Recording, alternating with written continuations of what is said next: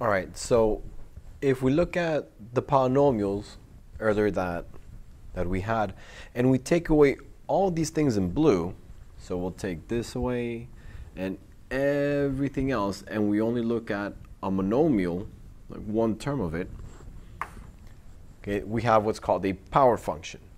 So here, the power function is made out of ax to the n, where a is a real number, it's not zero, and n is a positive integer. So the same requirements for the polynomial, except that here it's made out of a single monomial. Okay, and notice that this is actually kind of redundant, since single means one, and so does the prefix mono. So let's take a look at a couple. All right, so the simplest case to look at is here where n is equal to 1, so our degree for this power function is 1, and the graph is going to be a straight line that passes through the origin, and if a is greater than 0, then you'll have a positive slope. If it's less than 0, then you have a negative slope. Let's look at some higher degrees. Okay, and here we have a general case where I'm making n an even number, so 2, 4, 6, 8, 10, whatever, blah, blah, blah. Uh, the graph will always be a parabola with the vertex at the origins, you can see here. But if a is greater than 0, so if it's positive, it'll go ahead and open upwards. If it's negative, then it'll be opening downwards from the origin. Okay. Notice that also they're always going to be symmetric about the y-axis, and your domain for both of these will be all real numbers. Now I mentioned that this is the general look for any of the even numbers, but what happens as they get higher, so from 2 to 4 to 6 to 8, well what's going to happen is that they'll increase in magnitude. So here it'll actually get steeper faster.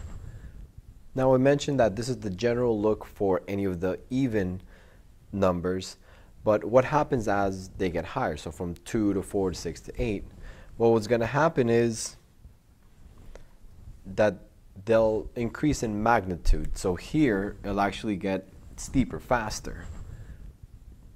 But here, it'll flatten out as it gets closer to uh, the x-axis.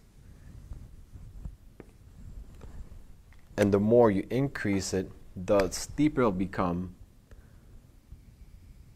but it'll flatten out as you get closer and closer to the x-axis. So you can say that the blue one would be, let's say, uh, x to the second power. The black one could be x to the fourth, and the green one could be x to the sixth. Another important feature to point out when you have n equal to an even number is that they'll always have three points. They will always have 0, 0.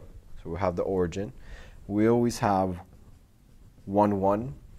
And we always have negative 1, 1. All right, now there's still some numbers that we actually haven't looked at yet, which are the rest of the odd numbers. We know that it, when it's 1, it's a straight line.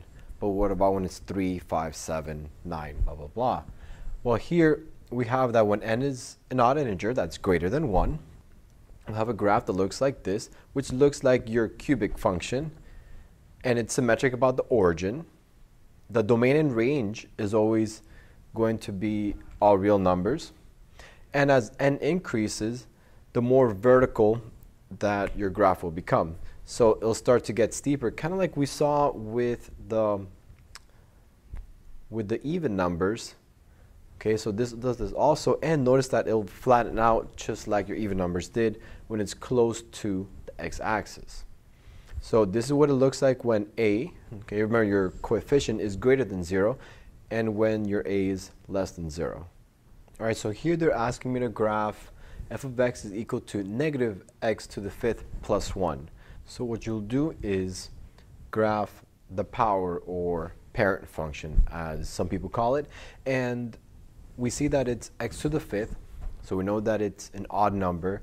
We know that that's going to look like a cubic, and they actually always contain three points. They always contain the points 0, 0, negative 1, negative 1, and 1, 1.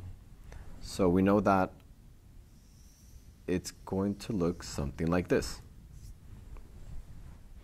but there's some things going on. It's being multiplied by negative 1. So remember, that's that negative right here. So it's being multiplied by negative 1. So what happens there is that it will actually reflect our parent or power function over the x-axis. So this was negative 1, 1. This one was 1, 1. Negative 1, negative 1, sorry. This one will come up here. So we actually now have negative 1, 1, 0, 0, our origin stays the same, but this one now comes to the fourth quadrant. That's too low. It'll be, instead of 1, 1, it will be 1, negative 1. So it gets reflected about the x-axis, and it'll look something like this.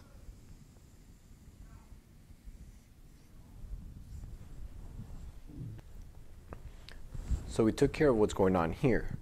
But there's still an addition of 1. Now when something is being added by 1, what happens is that your graph will shift upwards by that number. In this case, it's 1. So let's grab this graph and move everything up by 1. So here, so we'll put back 0, 0. This is not negative 1, 1 anymore. Negative 1, 1 was right here, but it's going to move up by 1, so negative 1, 2. Negative 1, 2. This is not 0, 0 anymore. Moving it up by 1 will bring it here, which is 0, 1. And this is not negative 1, uh, 1, negative 1. It is now going up by 1 will be 1, 0. Okay, so everything is up by 1, and the shape is still going to be like this. Okay, everything just moved up. Okay, so that's how you graph a function just by knowing what the power looks like and then taking the transformations one step at a time.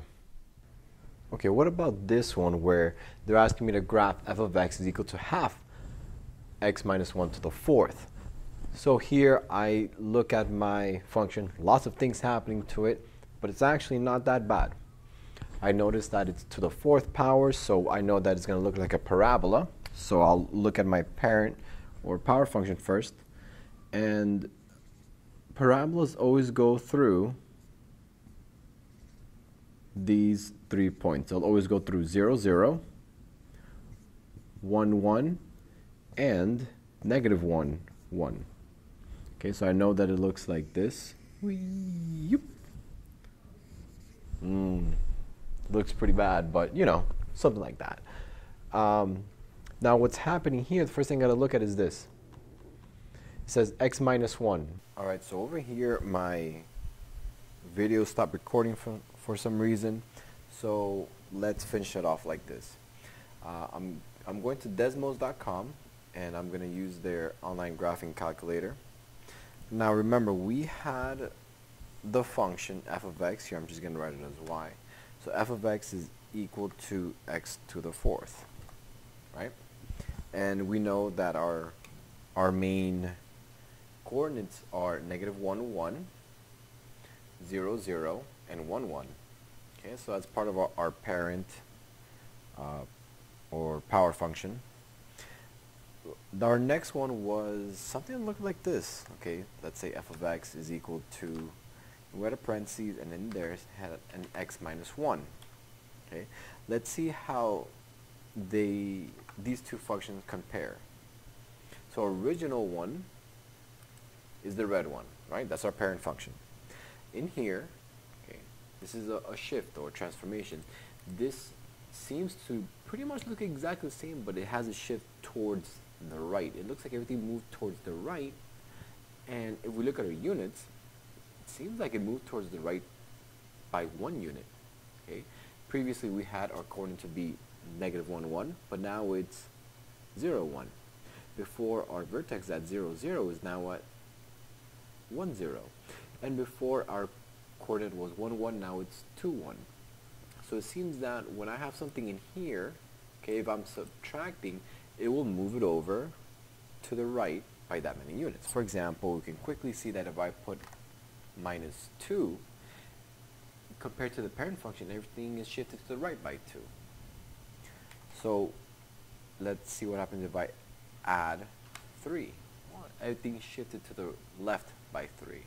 Okay, so in here, though it seems counterintuitive, usually people think subtracting goes towards the left and adding goes towards the right. In this case, where it's inside, okay, your x, uh, it'll do the opposite. So subtracting makes it go to the right. We also had another transformation. Um, sorry, we also had another thing in our power function. We had f of x is equal to half, right? So let's add in here what we had left over. Okay, so now we're just adding the half, the factor of a half, and let's hide this and let's just compare from blue to green. Okay, so this is on, only our shift to the right by one, but when I put in that half, okay, look, notice what happens here. Okay, and I'm going to change this to a, a table so you can see what's happening to the coordinates. Okay, so notice that our x's okay, are the same. Okay, negative 2, negative 1, 0, 1, 2, blah, blah, blah, blah. Okay, but here it seems that everything was affected by a factor of a half. Okay, right. So, uh, so looking at our mean coordinates, okay, uh, our x's are going to stay the same, but our y's, okay, are the things that are affected. They are now half, okay, from 1 to half and from 1 to half, okay. In this case, since it was 0, 0 times, you know, a half is just going to stay at 0. So since we know the general shape, we can actually graph that quite quickly. All right, ladies and gentlemen, that wraps us up for today. And here's my son taking a couple of his first steps, and I'll see you next time.